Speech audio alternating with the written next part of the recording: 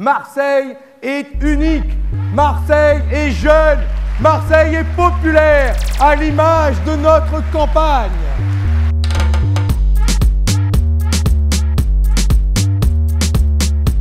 Et nous, ce que nous voulons, c'est une France des bons salaires, avec des salaires forts pour avoir une France forte, solide et en bonne santé. C'est ça, la France de la fiche de paye.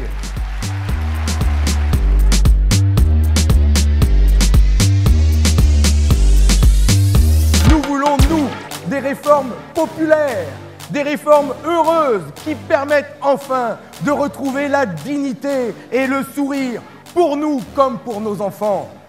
Car si la déprime nourrit la déprime, nous on dit que l'espoir nourrit l'espoir. Et l'espoir, il est là aujourd'hui, dans cette salle.